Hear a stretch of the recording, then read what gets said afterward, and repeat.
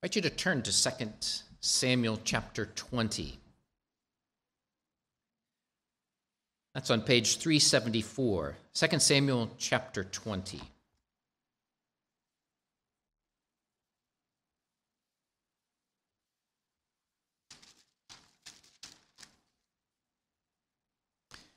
Listen as I read God's word. And there happened to be a rebel whose name was Sheba, the son of Bichri, Benjamite.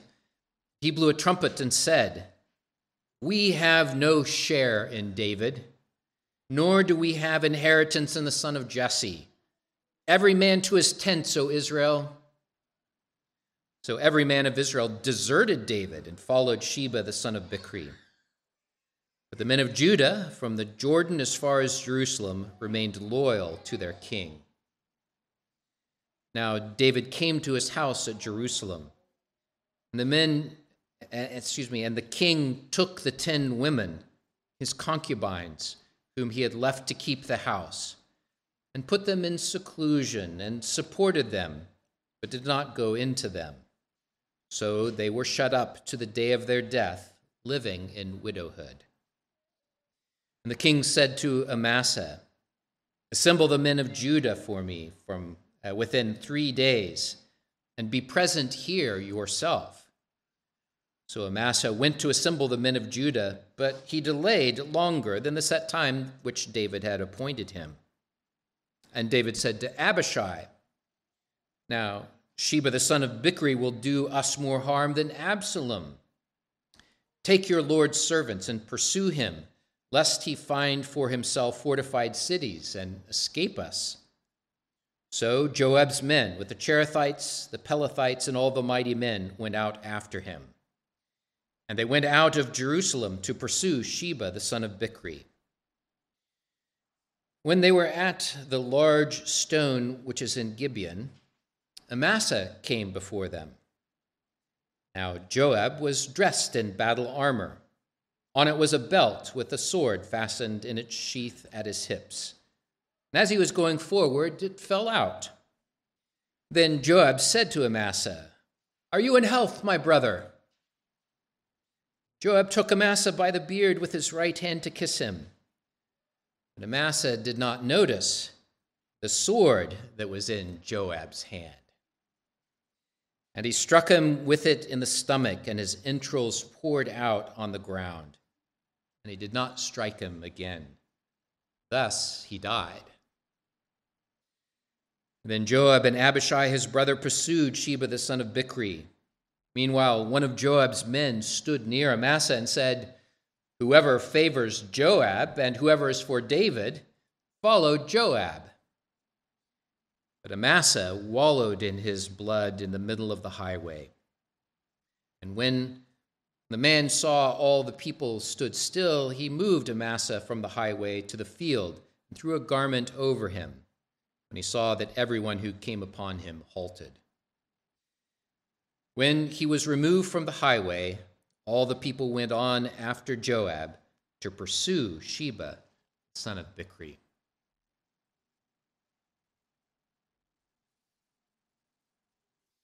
Fairy tales often end with this phrase and they lived happily ever after. David had worked hard to bring the divided tribes back together. And if this was a fairy tale, it would end there. David returns triumphant to Jerusalem. And the tribes were all there together and happy, and they lived happily ever after. Eh, uh, not is the uh, uh, the phrase I put on this uh, on the title of this sermon. They lived happily ever after. Not. When David returned, he returned to toil and strife, and it plays out in the days that come. We saw last week that uh, that tempers flared between Judah and Israel, that they quarreled against each other, and that they divided once more into what could very, very quickly boil over into another civil war, just as David seemed to have brought peace back together. Sheba blew a trumpet, trumpet. He sounded a note of division, rebellion, and civil war once more. Now, last week we considered some of the sins, common sins, that contributed to that division. A division that is typical of the temptations of the people of God throughout all of history and the common sins that are peace breakers. Similar to last week, this passage gives us an opportunity to think of other sins, other sins that uh, break peace and that damage the unity of the people of God. And in this passage, I'd like to highlight one the sin of selfishness. It will lead us to the call of Christ that I read earlier, the call of Christ to deny yourself rather than pursuing your own interest, to deny yourself, to take up your cross, and to follow Him. There'll be three different aspects here that will come out in this passage, and we'll start with how David treated his concubines. So, first, look at David's concubines and his actions towards them. When David got back to Jerusalem, this situation confronted him he had left 10 women behind, 10 of his concubines. My, uh, if you don't know what that is, it, they, were, uh, they were treated something like wives, but not of the same status. They were, in a sense, uh, wives of, of David, called concubines, left behind to care for David's house there in Jerusalem. When Absalom came to town, he was uh, intent on destroying his father David, of, of seizing that for himself, and thereby seizing the kingdom. And one of the actions that he took was a very barbaric action. He took his father's wives, his concubines, those that were left behind, and he raped them. He forced himself on them and violated them sexually. And he did so in a, in, in a very public fashion, with a tent set up on the top of the palace so that everybody knew what was happening. As you can imagine, this violation would be humiliating to these women, would be damaging on so many different levels. But I also want you to see that this placed them in a very dangerous position. Absalom's sin against them, according to the law, brought an unclean status upon them. They would be unclean to David specifically, meaning that he would never be able to be husband to them anymore. This would be a very dangerous situation for a woman in, in any age. But in David's age, the lack of someone to provide and protect was a situation that left these women potentially exposed, not only to uh, further humiliation, but to be destitute, uh, to be uncared for. But I want you to notice what David did. It's just one verse here, but it's packed full of meaning. I want you to see that David provided for them, that he protected them for, uh, from future shame and future exposure for the rest of their lives. The verse says that they lived in widowhood. Uh, uh, the rest of their lives. And that's referring to the, uh, that uncleanness or the separation that was forced upon them because of their, uh, of their being violated by Absalom. But David did carefully uh, uh, provide for them and protect them for the rest of their lives. I want you to understand this in the connection to, to all of these, uh, all of the history of redemption, all the history of David that we have, we have noticed. I'll remind you of this specific consequence of David's sin with Bathsheba. When confronted by God, David did repent. And through the prophet Nathan, the Lord assured David that he was forgiven. But he also warned David that there would be consequences, consequences that would follow after him, that there would be division and, uh, and war in his own household. We saw that with Absalom. And there was the warning that what you did in secret will be done, done publicly. And the violation of David's concubines is fulfillment of that. So in this case, these 10 women remained as a humbling reminder of David's sin. You could say that their shame was a consequence of his sin, that, that their shame was his shame. As such, they were a sobering reminder to him of the consequences of his sin. But their presence would also remind David of something else, because the Lord had shown David mercy. Remember the definition of, of biblical mercy? It is when God withholds the judgment that we deserve. And that's what God had done for David. He had withheld the, uh, the fullness of penalty that David deserved. And so David would be reminded by, yes, the consequence and, and, and, and the shame that had come upon him because of his sins, but he could also look and see that God had shown him mercy. Now, what should David do with these women?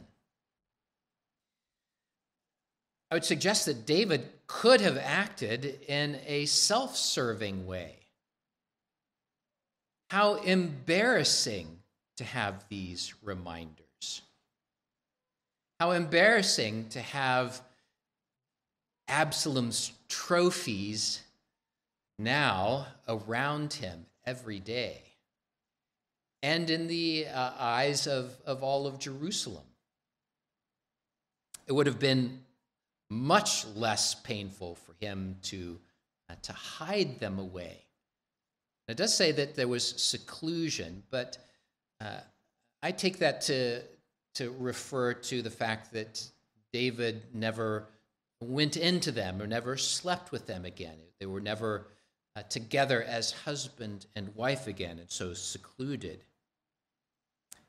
So David did not turn his back on these women, heightening their shame and exposing them to, to further difficulties. Instead, he, he did deny himself and he showed compassion on them. There's even a tenderness, I would, I would say, a tenderness that he shows to these women that expresses his understanding of taking responsibility for the consequences of his sin. And that way, you can see David expressing and seeing these women as, as a token of his repentance, a, a reminder to humble himself before the eyes of the Lord, and to trigger even thanksgiving for the mercy that he had received from God. And in this way, this one short verse touches a very sensitive place in the Christian experience, doesn't it? Sometimes God allows the consequences of your sins to linger in your lives. Sometimes He allows those to linger even after He has forgiven you, after you've repented, and, and He assures you that your sin is indeed forgiven the consequences may remain. And you might say, why would our loving Father do such a thing? The New Testament helps us. Paul says, Be careful if you think you stand, lest you fall. And Peter says, Be sober and watchful, for the enemy prowls about like a roaring lion, seeking whom he may devour.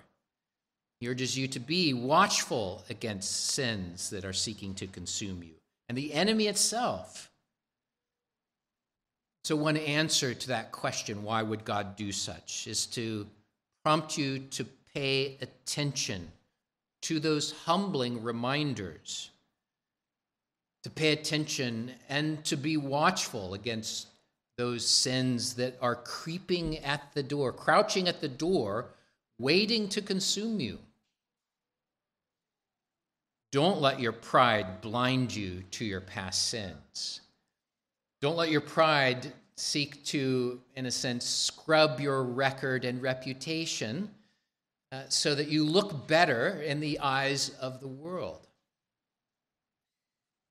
Those consequences are a tool in God's providence to humble you. And at the same time, they are a reminder to you that your salvation is, is not based on your perfect record. Your salvation was and is and always will be completely of grace. You cannot clean yourself up to come to God. That's a lie. It's a lie of Satan. It will keep you away from the Lord, in fact. And it is a subtle selfishness. It says, I can present myself worthy to the Lord. Humble yourself before the Lord. Humble yourself before Him, and He will lift you up. Second, let's look at Sheba's rebellion. As I already mentioned, Israel and Judah quarreled, resulting in this boiling over. Sheba sounds a trumpet, and there's, uh, there's this division that so quickly uh, uh, comes down on, uh, on David. Uh, you just shake your head. It says that all of, of those 10 tribes of Israel followed Sheba. They left. They went to their own tents, they went to their own, their own regions. They began to follow another rebel into a civil war. And you just you just wonder what in the world is going on. Hadn't they witnessed david's mercy to them?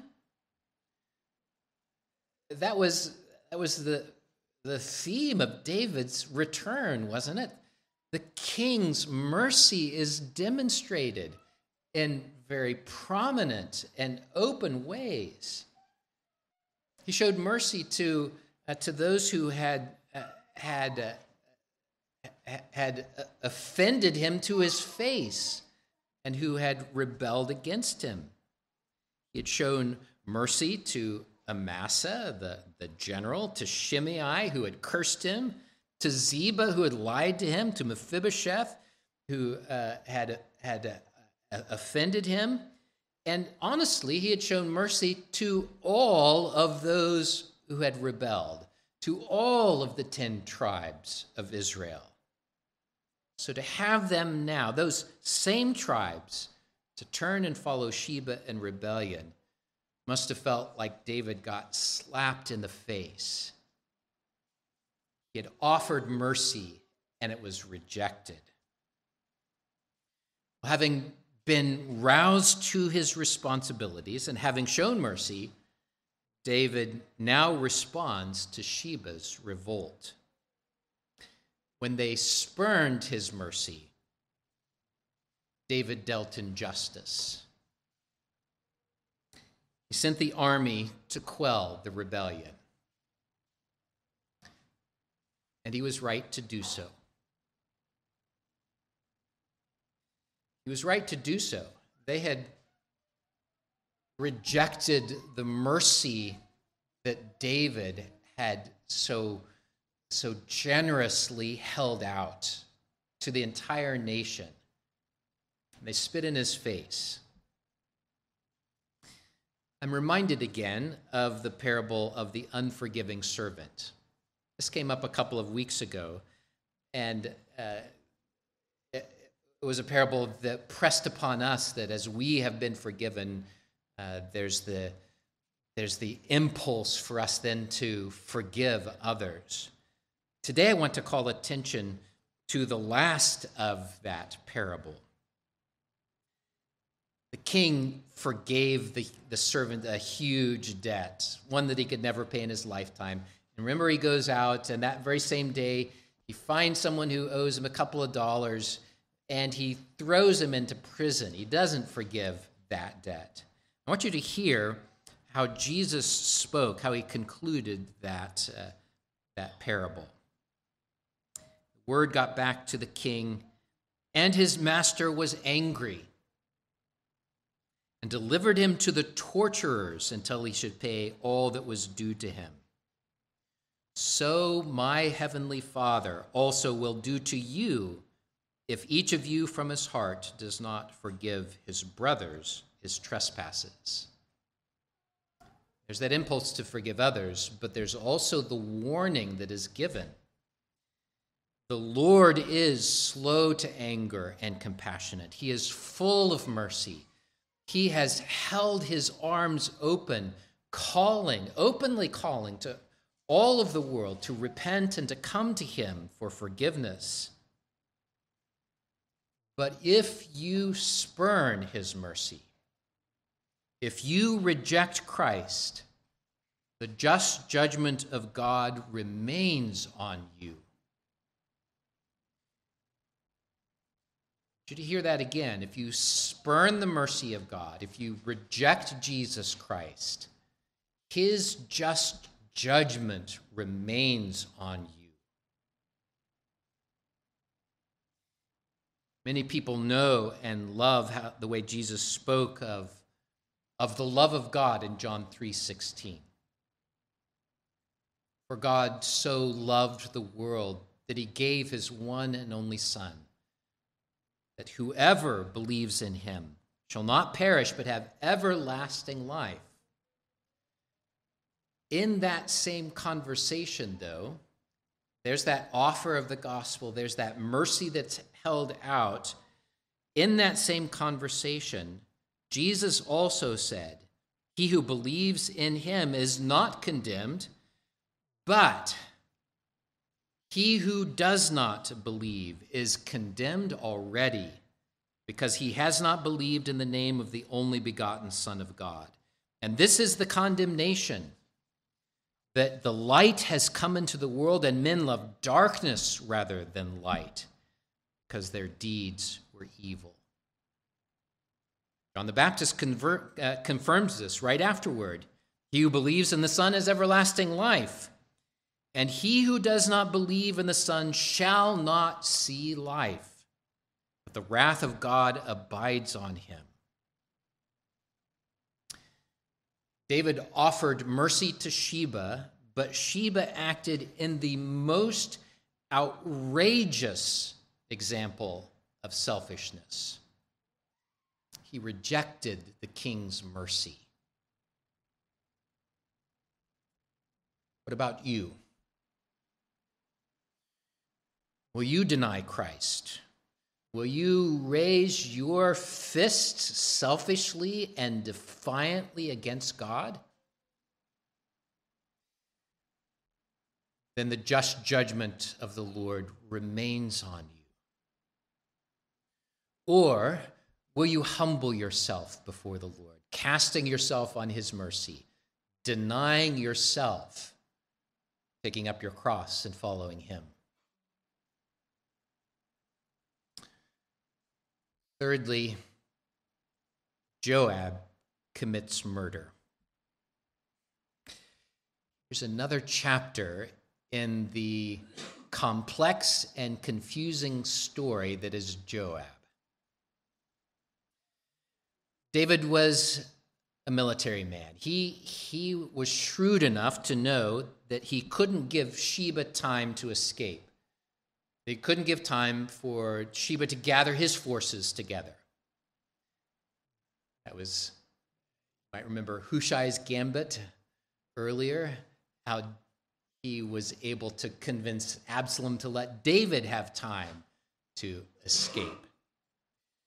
But David was wiser than that. He was a good military man. And so he called and commanded Amasa to take the armies and set out after Sheba. You might remember that Amasa was appointed by David. He had, he had led the armies of Absalom, but out of mercy, there was forgiveness, and David even appointed Amasa to be the new general. Amasa, not Joab. And when Amasa was delayed, David acted quickly once again, and he sent out another fighting force to track down Sheba. And David appointed Abishai as the commander of this fighting force. Abishai, not Joab.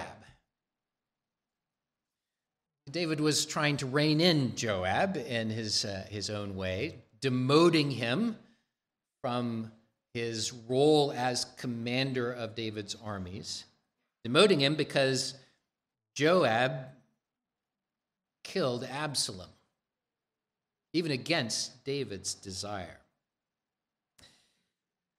So we're following Joab in this story. When the two armies come together, we find Joab there.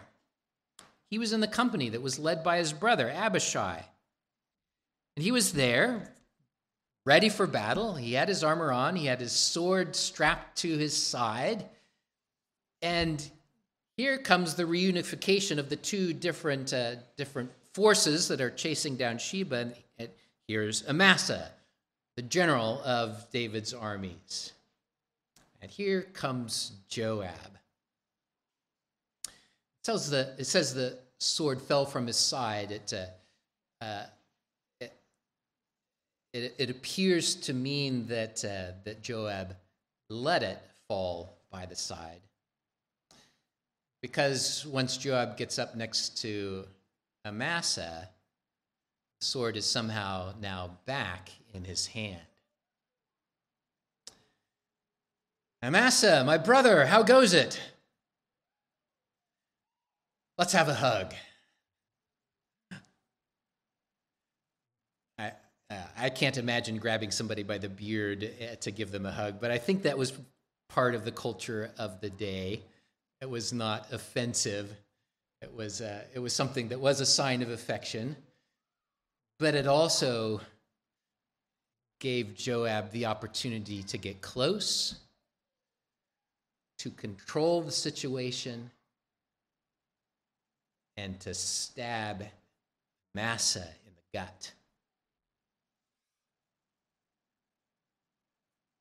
Then Joab lets him fall and leaves him there in the middle of the road, wallowing in his blood and intestines. It's a gruesome sight, isn't it? There was a battle to fight, and so Joab and Abishai go on. They post a man to stand beside Amasa and say, Whoever's for Joab, whoever's for, for King David, follow Joab. Did a couple of different things. It reasserted Joab's rule over the armies and let everybody know it. And it was something of a warning. Joab's back in town. you better not cross him. Everybody who passed by would pause and they would be warned by that. It became uh, uh, such a, a, a sideshow that it was delaying, just like uh, we call rubbernecking today. so this man drug Amasa off to the side and covered him with a blanket, covered him with his cloak. He died there. What are we to say of Joab? Well, interestingly, Joab demonstrates that he is fiercely loyal to David. And there is a, a sense of, of loyalty to, to the united kingdom of Israel. Joab is fighting for that. But as one commentator observes, it was always on Joab's terms. As powerful men often do, Joab did what he wanted to do, even to the point of killing those who got in his way. That's what he did to Abner earlier in 2 Samuel. That's what he did to Absalom. That's what he did to Amasa. Even though David wanted mercy for each of those three, but they were in Joab's way. So Joab would even defy the king, even though he is loyal. This light, excuse me, this scene sheds light on David's failures, but that's not really the subject. Our focus is on, on Joab in this text. And here is another case that causes us to stop and to think that Joab sought his own way, no matter the cost. Joab would never leave David in the type of rebellion that Absalom and Sheba led, but Joab didn't respect David as a king. And there are plenty of reasons for that, that uh, because of David's David's sins, but there is a selfish ambition about Joab that is, is vicious. He would get what he wanted by whatever means it took. And that does cause us to stop and think. It warns us of that sin, of, of selfishness. Now, you may never be tempted to stab somebody in their gut. I hope not. You may never be tempted to incite uh, an insurrection and rebellion in our country. I, I hope not. But what happens when you don't get your way? What happens? Will you do whatever it takes to make the circumstance come out the way you want it. Lie, cheat, slander, belittle, bully, murder. Joab stands as a representative of those sins, those sins within, and especially the sin of selfishness that gives rise to all of these external examples of it. Brothers and sisters, selfishness is a cruel master. It will consume you. It may seem to you that selfishness is just something that kids struggle with. You know how toddlers uh, are, have trouble sharing their toys, and we as parents will help them to understand that. You may think that, well, I'm a grown up now, I know how to share toys. Uh, oh, do you really? selfishness poisons all of us, whatever age we are, and it manifests itself in so many different ways. Or you may think of selfishness as a little sin, a little sin. But when you allow this little sin in your life, you'll find that you will start acting in ways to make sure you get your own way. Left unchecked, these little attitudes, these little sins will come to control you, to drive you, to blind you to the fact that you really, really would do anything to get your way. Out of a heart of selfish ambitions grows division in the church. Out of a heart of selfishness grows the uh, uh, actions that you might take to undermine your superiors at work. Out of selfishness, you might harbor ill will and nurture division in your marriage.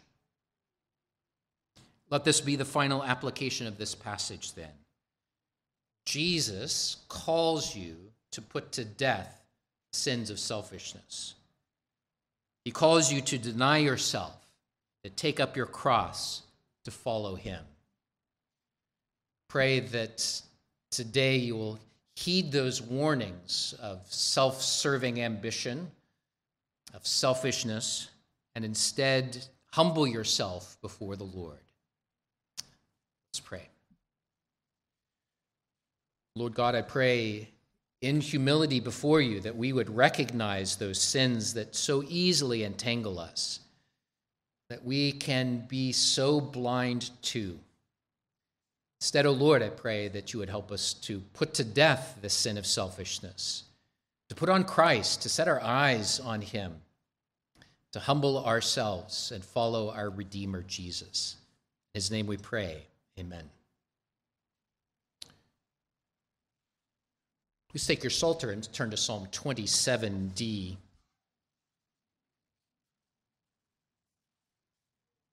I want you to notice uh, the commitment of, uh, of our uh, of ourself in this passage is that that by faith we wait upon the Lord.